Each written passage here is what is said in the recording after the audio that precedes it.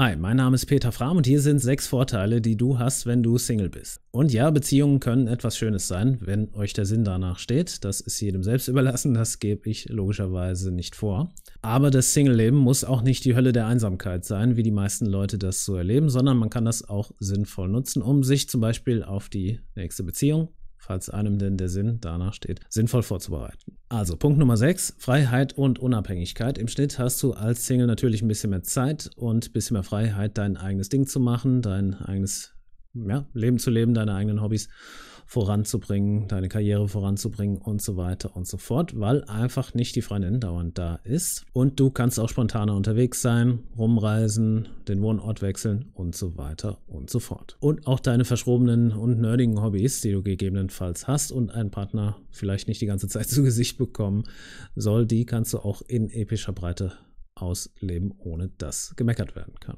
Vorteil Nummer 5, die Persönlichkeitsentwicklung läuft im Schnitt wenn man es ein bisschen richtig angeht, wesentlich besser, wenn man Single ist. Manche behaupten auch, in der Beziehung lernst du viel mehr, als wenn du Single bist. Hm, aus meiner Berufserfahrung heraus ist das eher andersrum, dass du als Single viel mehr Möglichkeiten hast, dich persönlich zu entwickeln. Wenn du es ein bisschen richtig angehst, natürlich, wenn du nur auf der Couch rumpimmelst, dann geht da logischerweise auch nichts vorwärts. Aber wenn du es richtig angehst, was läuft im Schnitt besser? Fitness, Ernährung, Karriere, Disziplin durchziehen und so weiter läuft im Schnitt besser weil einfach weniger Chance auf Ablenkung da ist. Und lass uns dann nochmal hier essen gehen und da nochmal auf der Couch rumhängen. Oh, tut mir leid, Schätze. Leider haben wir keine Zeit für weitere Dinge. Und ja, man kann das theoretisch auch parallel zur Freundin genauso durchziehen. Natürlich ist aber für die meisten nicht ganz so leicht. Die Versuchung, wie gesagt, lauern links und rechts. Du wirst in Versuchung geführt werden von der dunklen Seite der Macht. Vorteil Nummer vier, mehr soziale Kontakte und bessere Flirt-Skills. Da auch wieder, wenn du es ein bisschen richtig angehst und dich nicht komplett daheim vorm PC vergräbst. Denn als Single kannst du ja, wenn du ein bisschen handelst, viel mehr rumflirten, viel mehr Leute kennenlernen, viel mehr Bekanntschaften und Kontakte auch knüpfen, die gegebenenfalls ansonsten innerhalb der Beziehung in die Quere kommen würden. Und wie gesagt, du hast auch mehr Zeit, überhaupt unterwegs zu sein und auch alleine unterwegs zu sein, wo dann Flirtgelegenheiten zustande kommen. Du kannst in mehr Vereinen rumspringen, da neue Leute kennenlernen. Auch zum Beispiel beim Reisen, wenn du alleine bist, da kann man schon mal leichter auch jemanden kennenlernen, natürlich, als wenn du mit deiner Freundin da bist. Ist vielleicht jetzt nicht die geilste Idee, dann lauter Leute im Urlaub kennenzulernen, vor allem wenn es da ums andere Geschlecht geht. Vorteil Nummer drei, du hast im Schnitt mehr Kohle, da auch wieder, wenn du es ein bisschen richtig angehst und nicht alles falsch machst und überall die Kohle einfach nur so rausballerst für die Hobbys.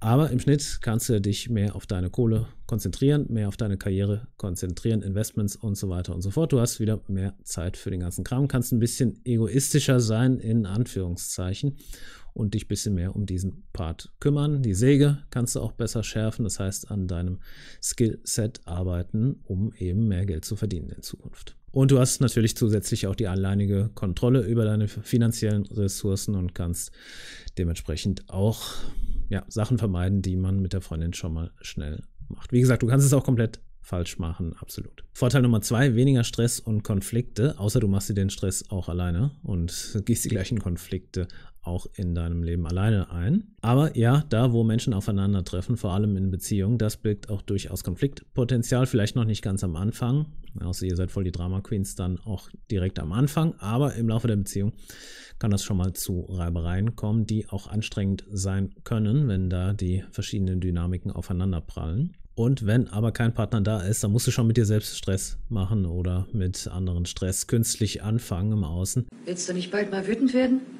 Oh, ich bin wütend. Da ist es nicht ganz so leicht. Und der aus meiner beruflichen Sicht wichtigste Punkt, mit dem die meisten Leute auch die größten Probleme haben. Und deshalb ist das Single-Leben immer für viele so die Hölle. Und deshalb rasten auch alle aus, wenn Beziehungen nicht ewig halten, was ein völlig normaler Lauf der Dinge ist, dass Beziehungen durchaus auseinandergehen können und nicht für die Ewigkeit gemacht sein müssen. Und zwar der Punkt emotionale Autonomie, das heißt vernünftig alleine sein können. Denn ehrlich gesagt gehen die meisten Leute einfach nur irgendwelche Kompromissbeziehungen ein, jetzt nicht wirklich mit dem Traumpartner auch meistens. Und warum? Ja, damit sie nicht alleine sein müssen. Aber manchmal bin ich halt alleine. Weißt du, ich nicht alleine. Diese Hölle der Einsamkeit soll krampfhaft vermieden werden, weil alleine sein bedeutet ja auch automatisch immer einsam sein. Und der ganze Matrix-Käse, der da mit reinspielt. Aber dieser Quatsch ist nicht die Wahrheit. Und wenn du aber alleine bist, kannst du jetzt schlecht sagen, jetzt gib mir doch mal mehr Aufmerksamkeit, Anerkennung und externe Liebe. Ich brauche das, sonst fliegt mir die eigene innere Leere um die Ohren. Nein, wenn du alleine bist, dann musst du lernen, das selbst zu machen, dir Aufmerksamkeit, Anerkennung, Liebe und so weiter zu geben. Und wer das gut kann, wer das vernünftig trainiert hat, der ist nicht nur als Single glücklicher und kann sein Leben einfach ganz normal leben und diese Vorteile, die ich hier genannt habe, auch wirklich nutzen im Sinne der positiven Persönlichkeitsentwicklung. Nein, sondern du bist auch zusätzlich, wenn die nächste Beziehung denn um die Ecke lauern sollte, ein wesentlich angenehmerer Partner, weil du eben den Gestank der Verzweiflung nicht an dir hast und nicht absolut abhängig bist von dieser neuen Beziehung, denn du weißt ja, wenn die wieder in die Brüche gehen sollte, was Teil der menschlichen Erfahrung sein kann, dann kommst du wieder hervorragend alleine klar. Das hast du ja gelernt und trainiert. Und diese Energie wird immer interessanter und attraktiver bleiben als der Gestank der Verzweiflung. Das liegt dem menschlichen Säugetier einfach inne. Ist das ein deutscher Satz? Das liegt dem Säugetier inne.